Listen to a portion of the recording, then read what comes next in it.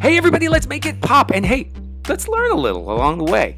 Um, this is Learning Unit Insects and Arthropods. This is a new series of pops for students, for teachers, and for anyone else who wants to learn a little about certain subjects and uh, and make it pop.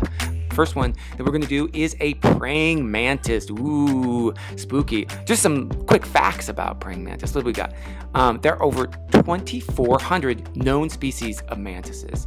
Um, and they're called praying mantises because it looks like they're praying. I mean, look at their posture. They're upright and they got the folded forearms there and they stand really still like they're praying.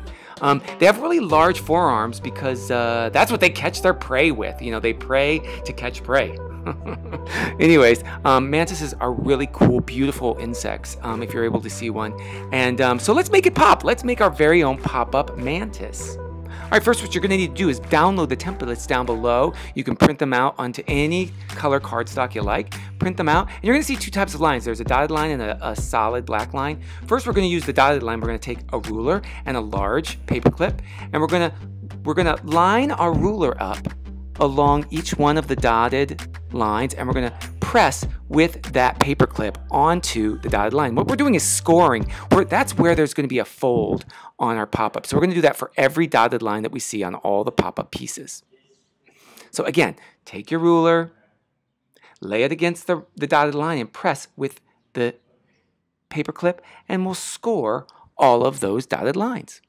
Now, after you've scored all the dotted lines, you're going to cut out all the pieces using a pair of scissors. How do you know where to cut? Well, you just follow the solid black lines. So see those solid black lines? Take your scissors and cut along all the solid black lines.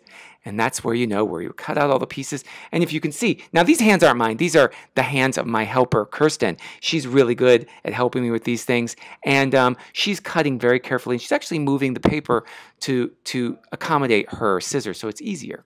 Now we're going to just pre-fold all of our pop-ups. And since we've scored everything, it should be really easy to fold along all those dotted lines. So this main piece folds just like that. Let's take this small piece.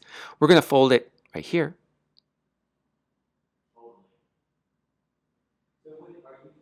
And now we're going to fold this large piece like this. Once down the middle. And then down here on the tabs. Now we're ready to assemble. So we're going to use some white glue, some just regular old Elmer's glue or craft glue, whatever you got available.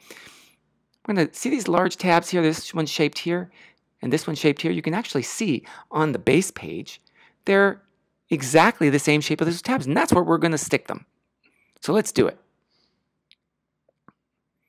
Let's use some glue and make sure you don't put too much glue within that little gray space.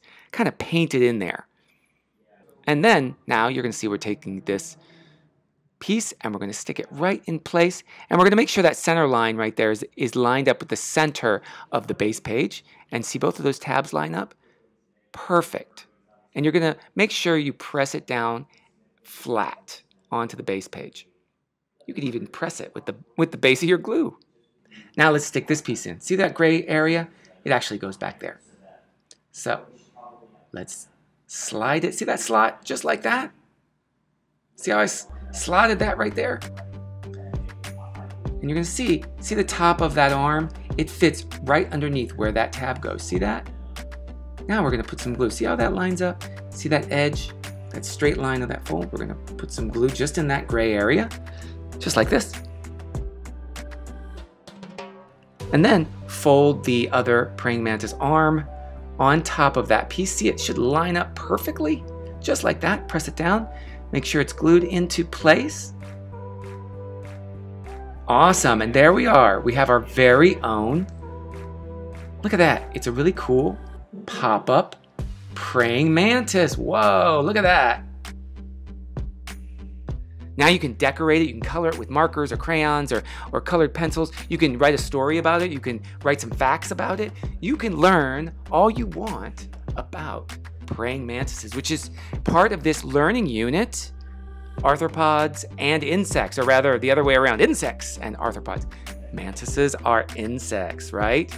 And um, I hope you've enjoyed this learning unit about the praying mantis. And I hope you've liked making insects pop with me. It's Matthew Reinhart saying, see you next time.